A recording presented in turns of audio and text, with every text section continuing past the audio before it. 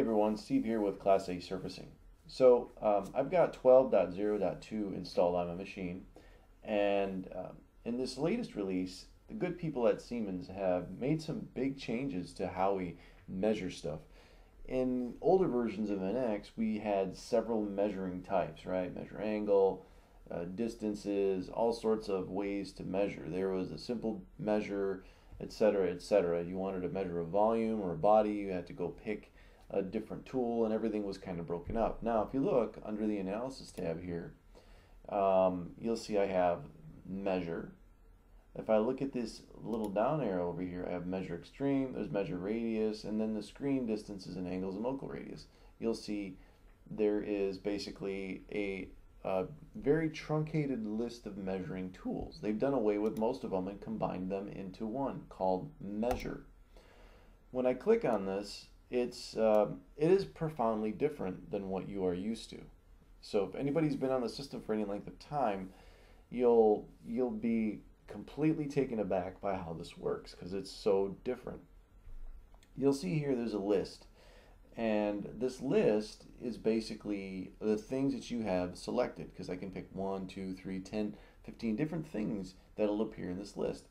You'll see up at the top objects to measure. I have object, I can measure a point, a measure along a vector, object sets, point sets to a CSYS. I'm not going to cover all of these because it's just too much, but just to give you the basics of how this works is you'll come down uh, after you specify what you want to measure the type of object you have measurement method, so you have free, then you also have pairs of objects, and then chain, as well as uh, from a reference object. So um, this is nice because this gives you various options on how you want to do your measurements. Like for example, if I come over here and say from a reference object, and I want to measure a distance, because this is my results filter, so I have to tell it the type of measurement that I want as well. I want to turn off body, and I want to turn off others. I'm just going to measure a distance uh, turn on associative and I'm going to start out with we'll pick this datum plane you'll notice object 1 next object okay so I'm going to come down and pick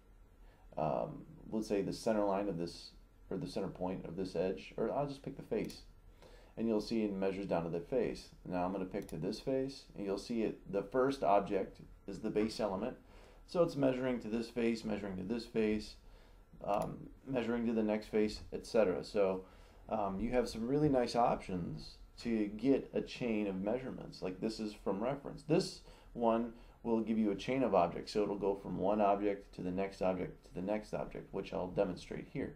So if I come in here and pick, let's say, let me just cancel this out. Measure. I'm going to pick from this face, and oops, I need to tell it chain of objects. You'll see a nice little hint that pops up here as well.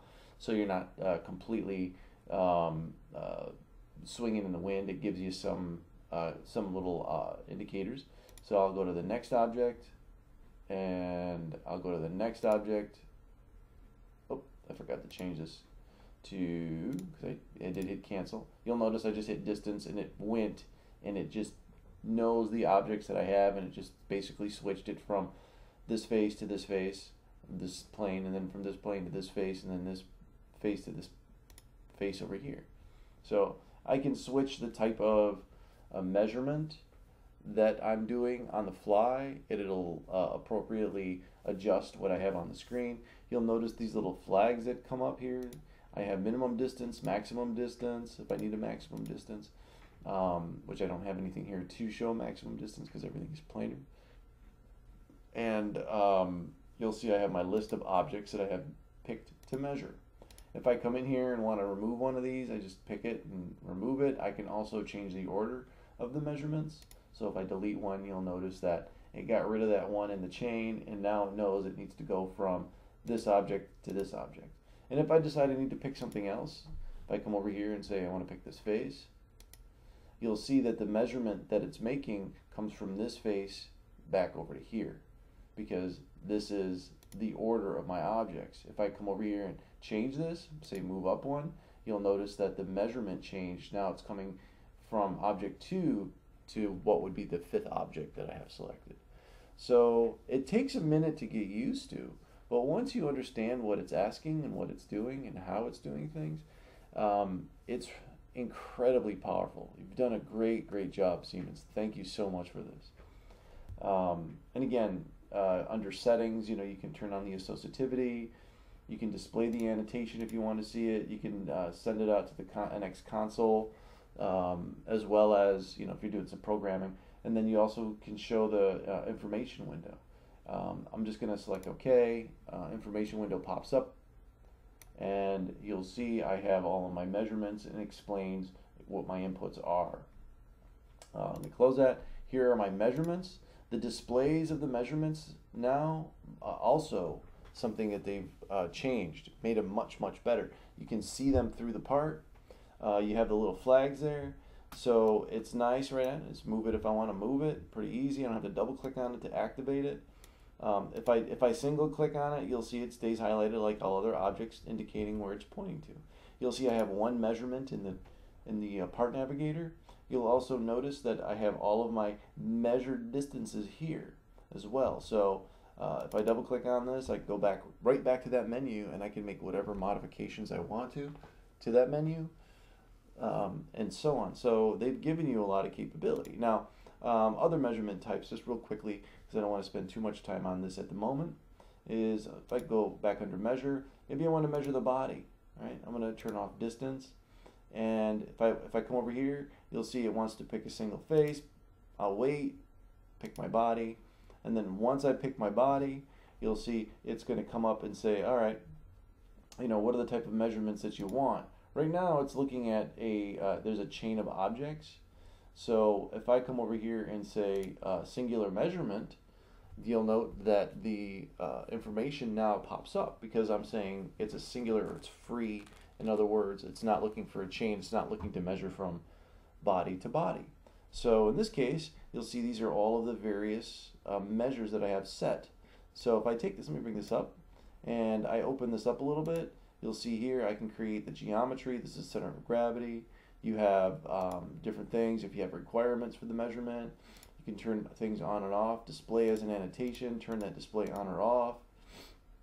If I look under preferences here, you'll see under um, there's uh, there's general this is just the the settings do you want to see the x y z delta values if you pick a point or uh, you can basically you want to see reference coordinates individual coordinate expressions you can have all that stuff set up euler angles can be shown if i look under measurement this is what i get for point this is what i get for curve and edge this is for faces and for bodies so you can turn on and off what you want to see here as well for the type of measurement under the settings. Um, calculation accuracy, so you can tighten up that accuracy if you need to. And this is just the display.